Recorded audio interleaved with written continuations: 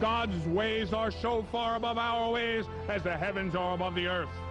The synthesis of the gospel is Jesus himself. At the end, forever, you and I will be in heaven or hell. Period.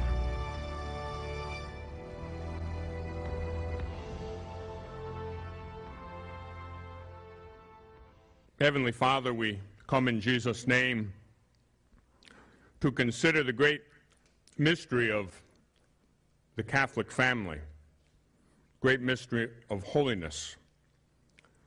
We ask you to grant us the grace to delve into this mystery. We ask you to open our minds and hearts that we might come to appreciate the family, the sacrament of holy matrimony for we know that this is the basic building block of all society. And if the family is sick, society is sick. And so we ask you in Jesus' name to grant us grace, to grant us grace to know and to love this great mystery of the Catholic family. And together we pray, Hail Mary, full of grace, the Lord is with thee. Blessed art thou among women and blessed is the fruit of thy womb, Jesus. Holy Mary, Mother of God, pray for us sinners, now and at the hour of our death. Amen. O Mary, conceived without sin. name of the Father, and of the Son, and of the Holy Spirit. Amen.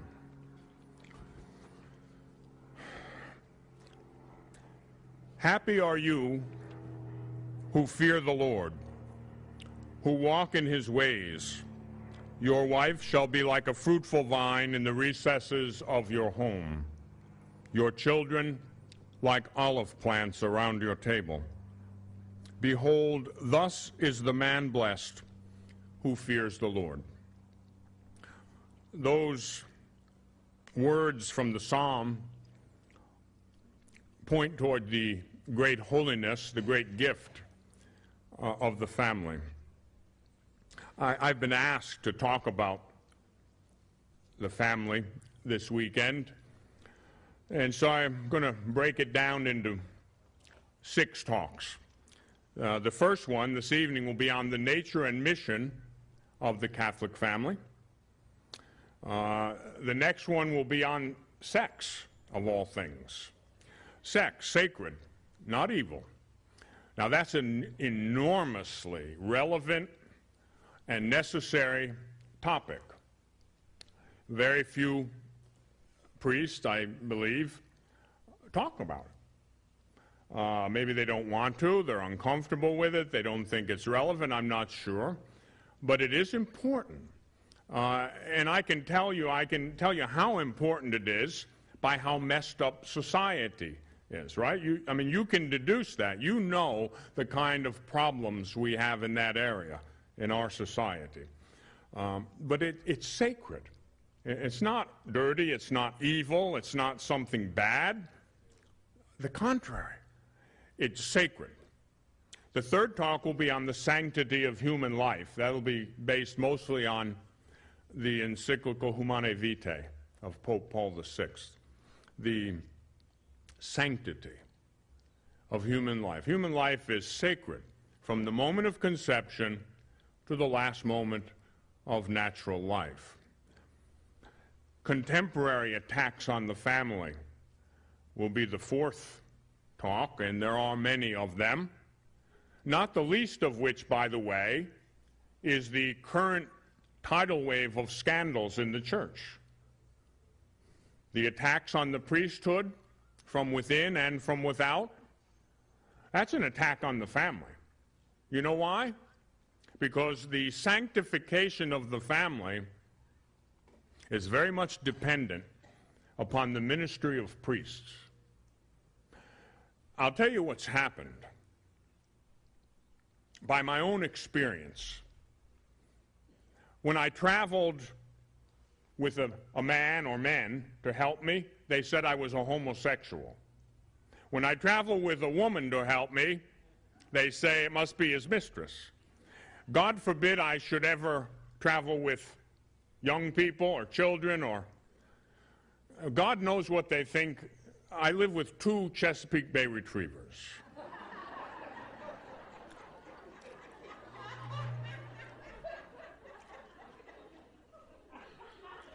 You know what? I don't care what they think. Doesn't make a bit of difference to me what they think. But that's how absurd it is. And I'll tell you, you know, I try to be treat it lightly, and we've got to laugh about it a little bit, but it's tragic. Absolutely tragic. Think about this for a minute. Now, how many of you were here last summer when I was here? Oh, quite a few of you for, for the Immortal Combat, the, the series we did right here on spiritual warfare. Think what's happened.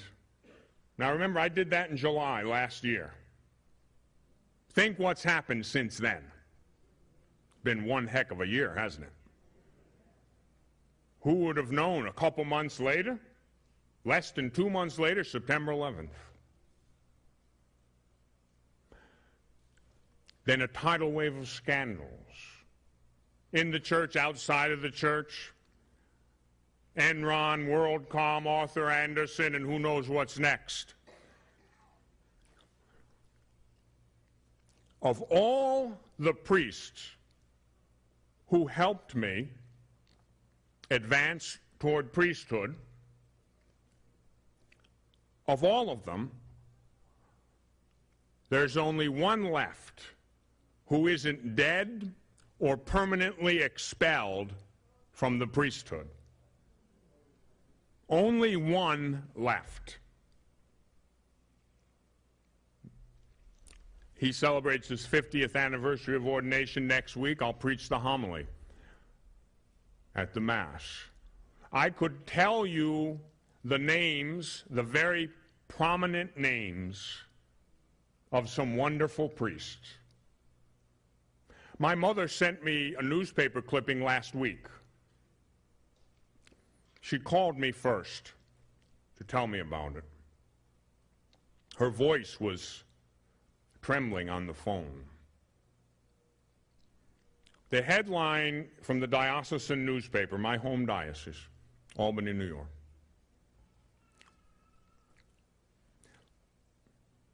Seven priests removed from ministry forever. That was the headline forever. Forever. You cannot appreciate what that means unless you understand what a priest is and what he means to your family. contemporary attacks on the family. That'll be number four. Number five, love equals sacrifice. A lot of you heard me say that before. Love is the cross, and the cross is love. Most of you are married. You know about that. You know that after the honeymoon, it's sacrifice. Hmm? You know, one day you wake up bleary eyed look over and exclaim, Ah! What have I done? You're married, bozo. Too late now.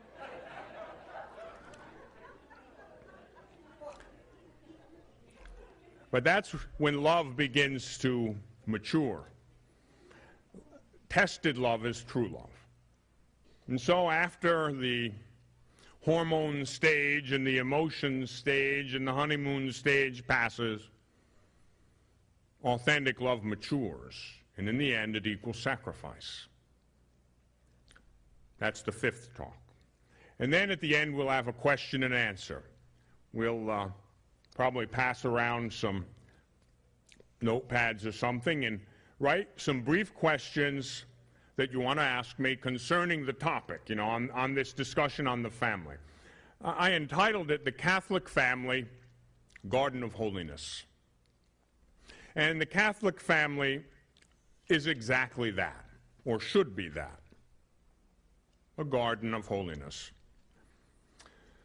Many of you have heard me give a talk on the Blessed Mother, on the Immaculate Heart of Mary, and I talk about the Immaculate Heart of Mary in the context of a garden, a holy garden. The Catholic family is a garden of holiness. Catholic family is a place set aside for the planting and the nurturing and the bringing to fruition of virtue. All virtues should be planted, nurtured, cultivated, and brought to fruition in the garden of the Catholic family, a garden of holiness. I wonder, just think about this for a minute. Now, I know that you folks are not your average Catholic. You're not. Um, you may think you are, but you're not. Uh, you, I know you don't think of yourself this way, but you're the cream of the crop. You really are. You're the pillars of the church. You're the people who, century in and century out, keep the church going. You are the people who will still be here when this rash of scandals blows away. You'll still be standing. Not going to shake you. Oh, it shakes our faith a little bit. We struggle with this mess. I do. But you're going to be here. When the storm blows itself out, you're going to be here. You're rock solid. I know that. But you need to be confirmed in your faith, just like I do. I, I know I can't tell you anything new, but what I can do is confirm you in what you already have, convince you that you haven't made a mistake, that the faith of our fathers is the faith indeed. It's the same yesterday, today, and forever. And now we need to be stronger than ever. We need strong families. All vocations come from the family. Vocations are the fruit that comes from the garden of holiness, Catholic family. Whether it's vo- vocations to marriage, vocations to the priesthood, vocations to religious life, all vocations flow from the family. If the family is not what it should be, individuals will be deformed, stunted, blighted. Do you remember what happened when Jesus and the disciples were walking through the countryside? And Jesus wanted to take some figs from the fig tree, and there weren't any, and he cursed the fig tree. They said, Well, let, let us, let us um, put some manure on it and, and cultivate it a little bit and give it a chance. Wait, wait a while. You know, it, might bear fruit yet. He came back by and it hadn't borne fruit. What did he do? He cursed it, withered and died.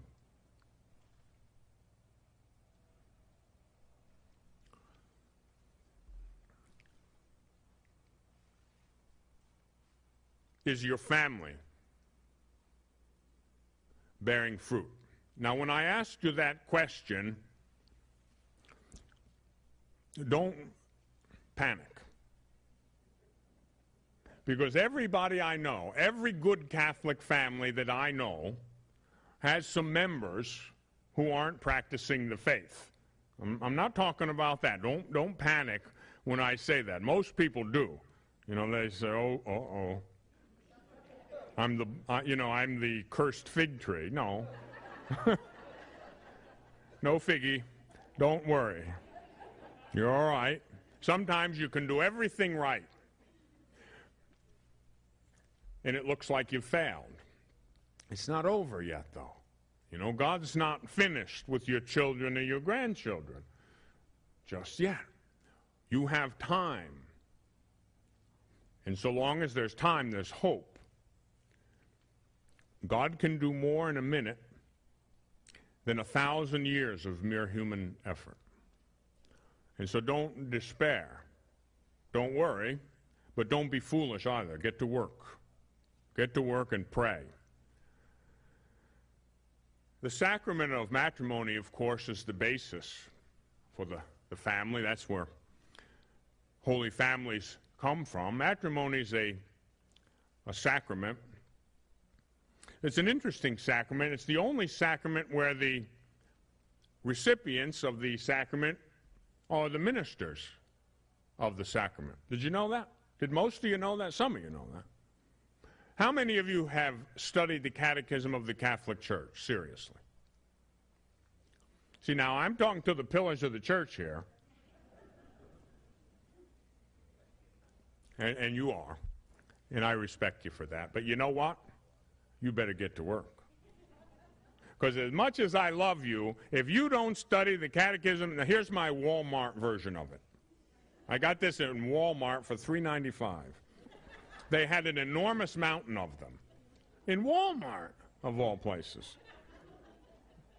It says $7.99 on the back. I got it for $3.95. I know how to shop.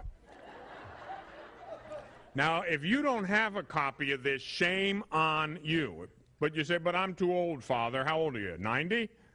I have men and women, many of them in their 80s, that went through my entire course on the Catechism of the Catholic Church. They sat there personally through all 48 hours of it and the 12 hours of question and answer when I filmed it back in 1996. Countless more have watched it on television or through the videotapes, parishes, adult education groups in parishes, little groups meeting in somebody's home, studying the Catechism. Why should you study the Catechism of the Catholic Church? Because basically it's the truth. What's the truth? The truth is Jesus. Jesus is the truth. Do you think we should study Jesus? Do you think do you think you should know the person you love? Yeah. I mean, it's absurd to say I love somebody and not to, you don't want to know anything about them. Silly. Jesus is the truth. He said, I am the way, the truth, and the life. You, you've got to get to know Jesus.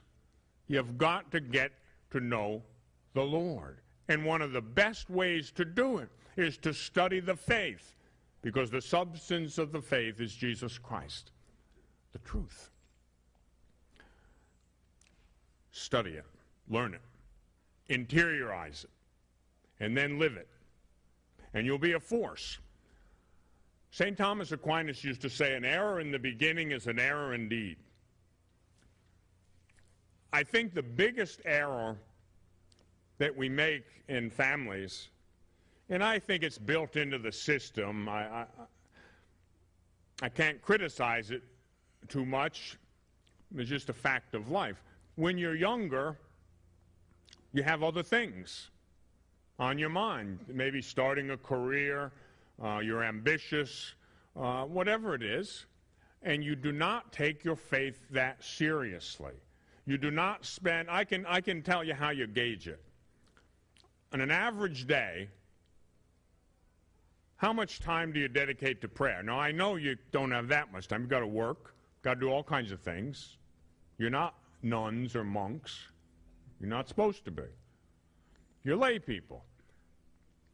But ask yourself an honest question out of 24 hours in a day, do I give the Lord at least 30 minutes? How about 15? You've got to do at least that much. You know what's going to happen if you don't do at least that much? Nothing's going to happen. That's what's going to happen. You're going to go downhill. There are no planes in the spiritual life. You go up or you go down. It's a very steep hill. You climb or you roll back down. No planes, no flat places in the spiritual life. The clock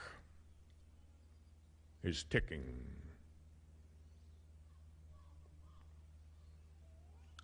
About a month ago, well, June 11th, I remember the date when I was laying on that table, and the guy said, I'm sorry, there's nothing I can do for you. I didn't panic, but I got more serious than usual. You know what I mean. Oh, yeah, I packed my suitcase, I gathered up my medical records, I went off to do what I had to do. And uh, that morning, you know, I, got, I went to bed, got in about 10 o'clock at night, it, went to my friend's house, slept there, didn't sleep much that night. Um, the next, it was a busy day. I had this appointment scheduled with the cardiologist and then the surgeon, and, uh, you know, I was going to have the, sur- the surgery then, the next morning. You know what the first thing I did was on that, um, I guess it was a Thursday morning? I said, uh, I want to go to confession. I went to the local parish, waylaid the priest in the courtyard, said, Father, I'd like to go to confession. And I told him I was about to have serious surgery. And I said, Bless me, Father, for I have sinned. And then he gave me anointing of the sick. And, it, and then everything went better from that point on. I scurried around. I had to finish writing my will. Then I had my doctor meetings. But you know what I did first. Like I said last year, if you can't even get to the battlefield, how are you going to fight the fight? If you're not in a state of grace, now I was in a state of grace, by the way, but I went to confession anyway. Why? Didn't want to take no chances. you never know. hey, uh, my friend the nurse was was uh, trying to lighten things up all day, and she said, "Well, Father." She said, When you wake up, you'll see me over. You're saying, It's over, Father. Everything's all right now. You get serious when you're facing that stuff.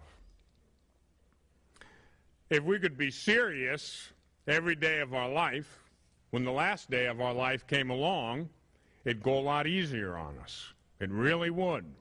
Well, I have some advice for you right here and right now, get serious. When I stood up here last year, one year ago, who among us would have thought what would transpire in that year between then and now? God help us. September 11th, my dad died a few days before that. I buried my father on September 11th, by the way. I flew down to Los Angeles from San Francisco September 10th. Met my superior. We went, stayed in a motel, got up 5 o'clock in the morning to celebrate Mass. My office manager called me about 5:30 Pacific time and said, "Turn on the television. Something horrible's going on." And I saw the events live.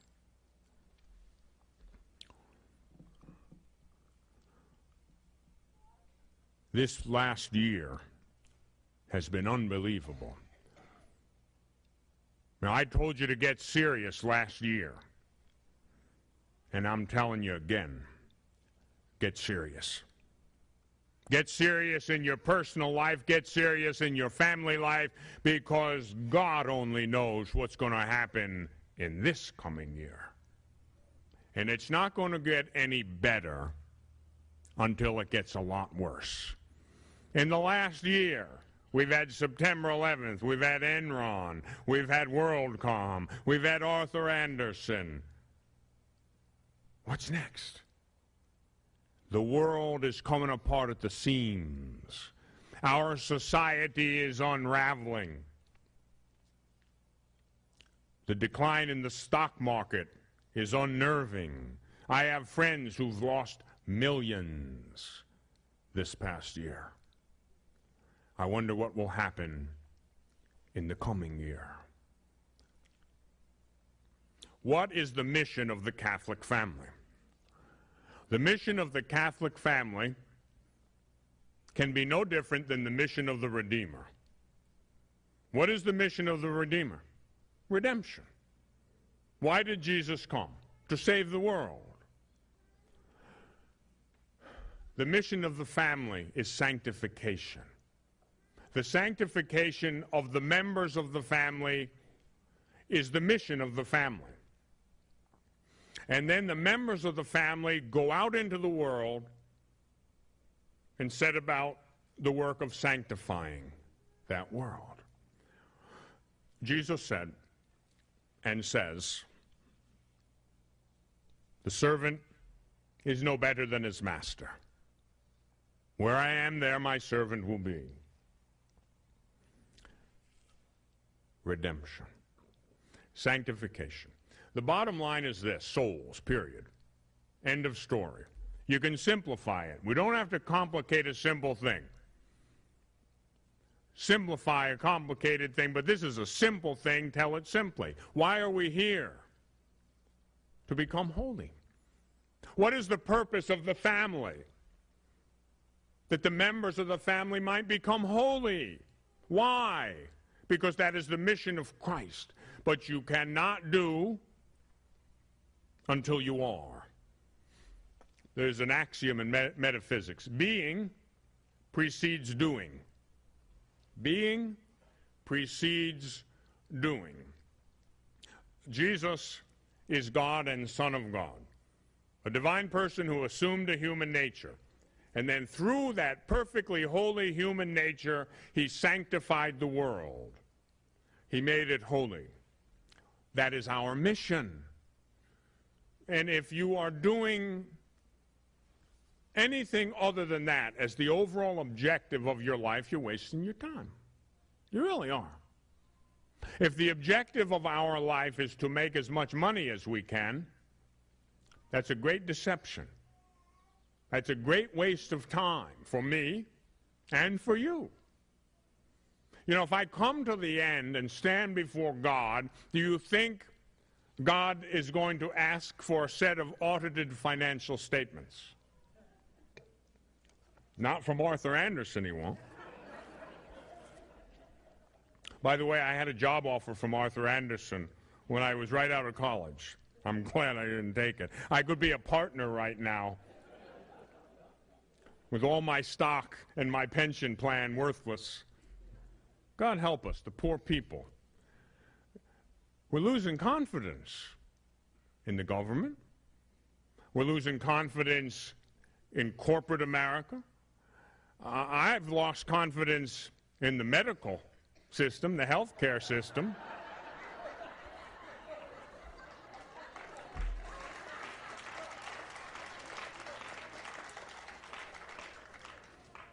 you know, I'm not going to panic about it, but, uh, you know, I'm interviewing lawyers now. Yeah, I hate to do that, but you know what? there are hospitals and doctors, just as there are other professionals, other people, who are doing unethical and immoral things for money. Uh, just like creative accounting can result in a deceptive presentation of the financial situation of a corporation. Take somebody like me, I'm 55. You know, that, that's an interesting age, right? 55. Now, I'm a senior citizen, you know, in certain circles now, 55. My dad died of coronary artery disease, the onset of which was when he was about 55. I don't eat right. I don't exercise anymore. I have way too much stress in my life. So when the doctor said, look, you need a triple bypass, I was shocked but not surprised. And so I would have gone right through it had I not been the beneficiary of a lot of prayers. I'm sure of that. I didn't go to the other state to get a second opinion. I went to have the surgery. I was just fortunate that they checked everything out first. There is decadence every place you look. I can't get through a day without this much aggravation. I don't know about you. I get my telephone bill, it's wrong. I get a credit card bill. Who did that? You go to the doctor. Nobody knows. I got three board certified cardiologists over here saying I'm on the edge of death. I got three board certified cardiologists over here saying, oh, you're the picture of health. What'd I do? Flip a coin?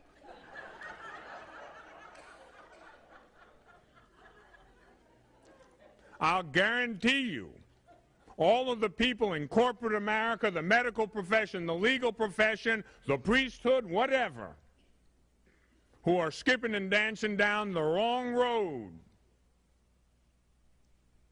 aren't living the values that a Catholic and Christian family taught them or should have taught them. An error in the beginning is an error indeed, as St. Thomas said. My brothers and sisters, you and I have an awesome responsibility. You've got to form your children and your grandchildren. That's a daunting task. Uh, look at the world we live in. It's corrupt. Every place you look, it is sick. It is decadent. But you can't become bitter and cynical and negative because that doesn't work. You have to transcend that. You have to have confidence. You have to have courage. You have to have every virtue. And those virtues are initially cultivated in the Catholic family, a garden, a garden of holiness. You need to do that. Mom, dad, grandma, grandpa, you're awesome. You're tremendous. You are called to a mighty dignified and noble undertaking the sanctification of your family.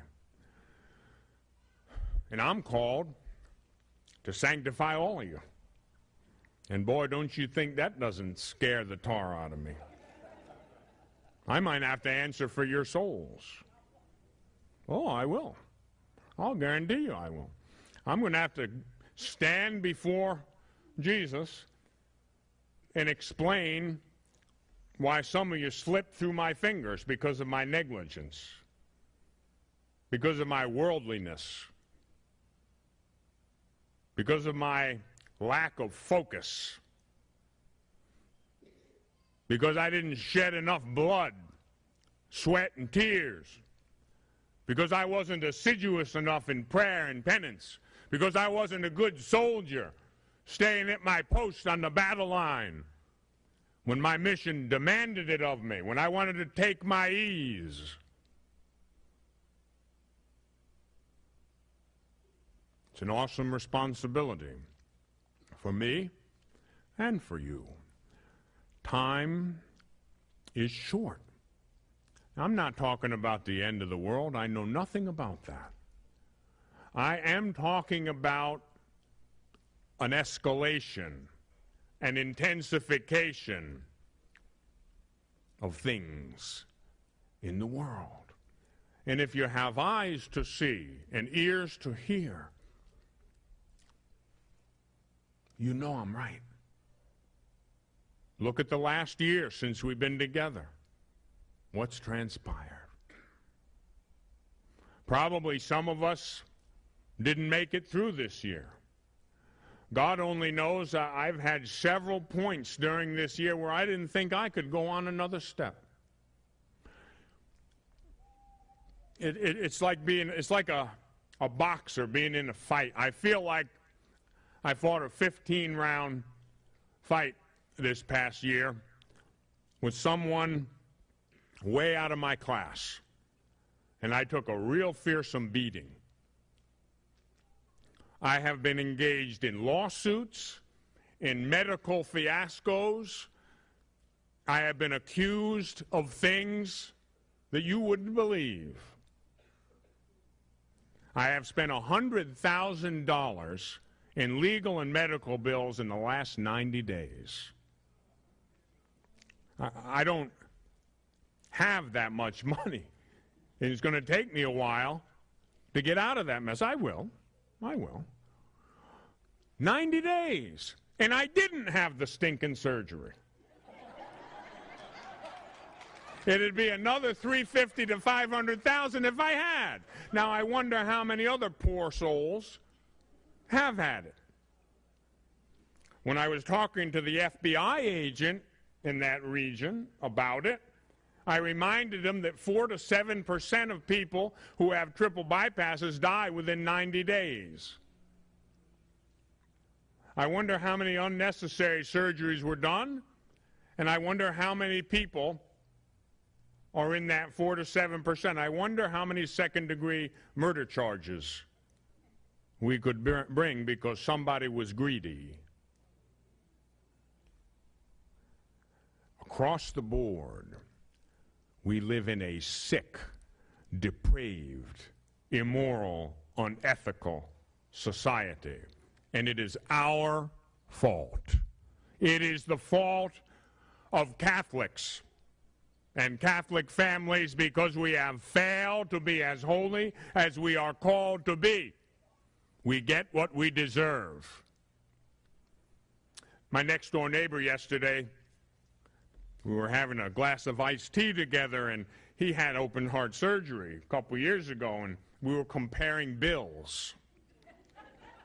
Mine was small, and his was big. And he was lamenting the fact that he remembered the days where when a woman could deliver a baby and it cost 50 bucks. Or you could spend a week in the hospital for about 300.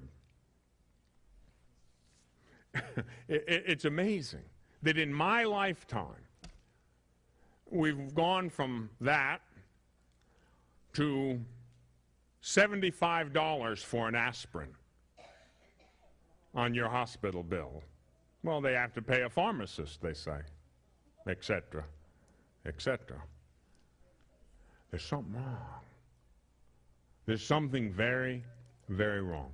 Well, what do we do? Just complain about it, or we do something about it? We do something about it. And it starts in the family. The family. The family is being undermined, ridiculed, mocked. Women and men tell me all over the country that if they have more than two children, uh, they begin to wonder if they're in communist China because people criticize them.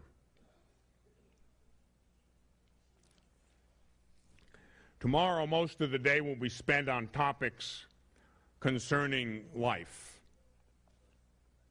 the sanctity of human life. I blame an awful lot of what we have on the self centeredness that was fostered, promoted, and perpetuated through a contraceptive mentality. We became focused on self, sexually, financially, in every other way followed. If you're centered on yourself, you're going to unravel. You're going to close in on yourself. And then society will do the same. For what is society if it is not a community of individuals? And if all those individuals are empty, cold, and self centered, then what can we expect but disaster? Whenever we talk this way, we open ourselves to criticism. Oh, he's negative.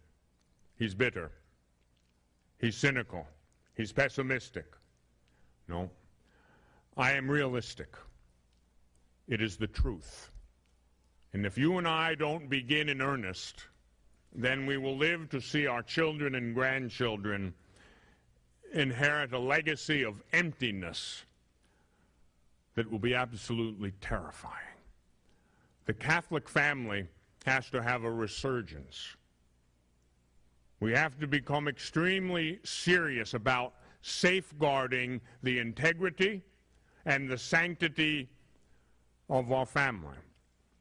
Now, I have never been a parish priest, but if I were a parish priest, and I don't have the gifts for it, I admit, but if anything threatened my parish, bad teaching, a bad teacher, some kind of immorality, God help it. Because metaphorically speaking, I'd rip it limb from limb. It wouldn't get far in my bailiwick. And in the family, you have to be just as assiduous in maintaining an environment that is wholesome and holy. And I know it's not easy and it takes some ingenuity. And you don't want to be a, a Hitler about it. You don't want to be a dictator about it. You don't want to alienate your children. But you have to be strong. And you have to be clear headed. Soft hearted, yes, but not soft headed. You've got to be strong as parents and as spouses. In the end, you'll suffer. You'll suffer. You don't believe me? Then tomorrow or the next day when you go home, announce to your family that each evening after supper, you're going to pray the family rosary. And if you don't think you'll suffer, watch what happens. And if you don't get it right away, wait a week or a month and see how many contrivances rise their ugly heads to end the little ro- rosary gathering. Some of you have heard me tell the story about my great grandfather, the French Canadian one on my mother's side. Great grandfather was a carpenter, and um, we'd go up and visit him once in a while. He was a very powerfully built man, but not big, short, about five foot seven high and wide at the shoulder. And every evening, without fail, for his entire married life, which spanned 65 years before he passed on, he led his family in the family rosary. Great grandfather would kneel on a chair, and there he had he was a carpenter, and he carved beautiful statue out of wood, hardwood, of the Blessed Mother, of the Sacred Heart of Jesus, and St. Joseph. And they were indented into the wall. And he would kneel down on that chair, and the whole family would kneel behind, behind him, and great grandfather would lead the whole family, young and old, in the family rosary. You did not know great grandfather. I only knew him as a small boy. But you couldn't imagine to have announced to great grandfather, I don't feel like doing it tonight. You have no idea what that would have elicited. For great grandfather was a formidable man, even in his old age. When the children and the grandchildren came to visit, didn't make any difference. Some of them had been in the Marines. Some of them came home in the Marine uniforms. Every one of them in their Marine uniforms knelt down and said the family rosary. And they didn't want to reckon with great grandfather. That's a family. That's a Catholic family. We have a crisis in the family. We have a crisis of manhood. A lot of men don't know what it means to be men anymore. They are weak in the knees, got no moral backbone, interested in all kinds of sundry and irrelevant things, don't have a clue that their main function is the sanctification of their family, their wife and their children. And the women, What's your job? I think women are better at it than men. They always have been. But the women, their job, sanctify the husband and the children. The children, what's their job? Sanctify the parents. They usually do it by torturing them. no. Not really. Not really. But no, everybody has a job. And the job is the same holiness, sanctification of the family. You're to provide an environment where virtue flourishes. That means an environment where impurity has no place. That means a wholesome environment. That means an open environment. That means an environment where your children can approach you, not in fear, but in openness and in love. You know, it's a great art to balance justice and mercy. That's what God does. He's a God of justice, and He's also a God of mercy, and in the end, mercy triumphs over justice. Be soft hearted. You were young once. You know what it was like. If you've forgotten, recall. Don't be too tough on them, but don't be soft headed.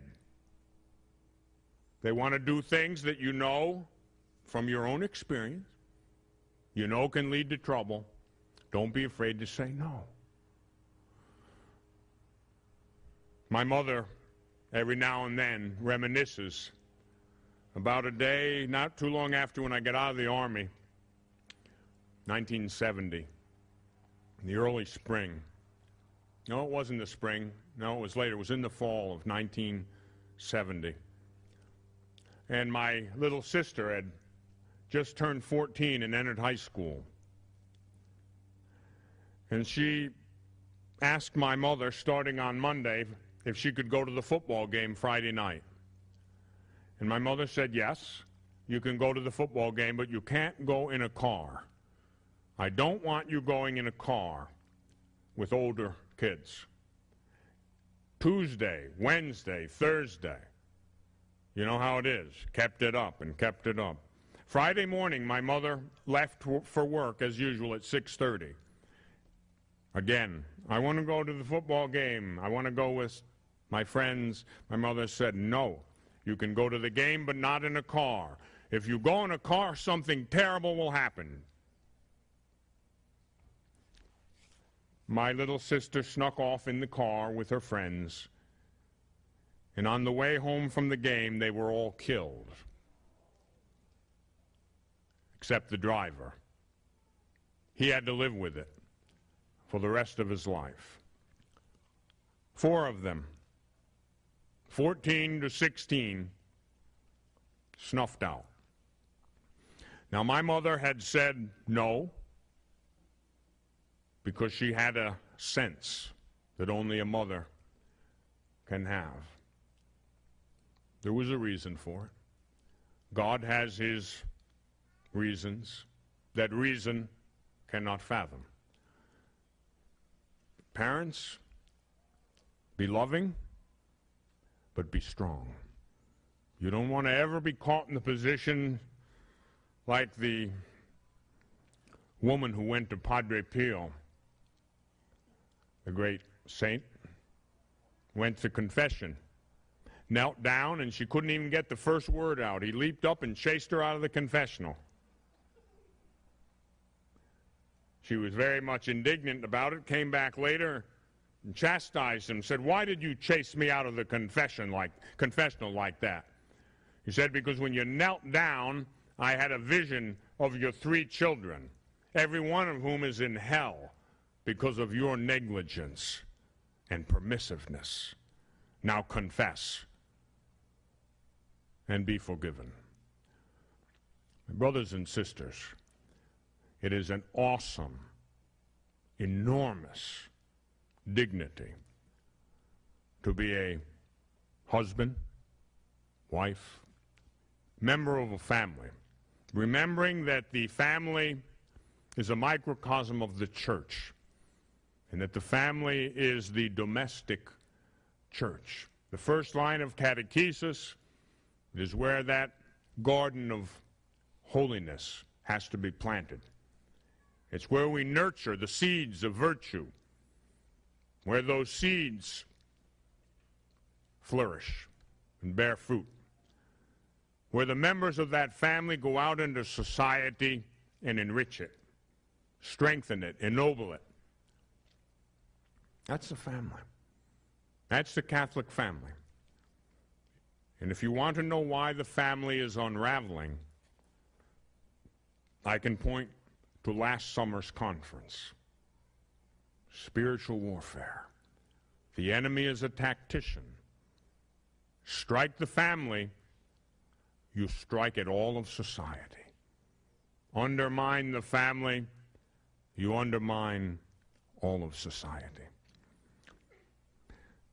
Let's be resolved, family. Let's be resolved, no matter how young or old we are, to enter into this battle for the family with all our heart, mind, and strength. Because I promise you, if you do that, if you do it faithfully, in a little while, a very little while, sooner than you think, you and I are going to be standing before God, and He's going to smile at you, and you're going to hear these words Well done, my good and faithful servant, enter into the joy of your master's house. God bless you.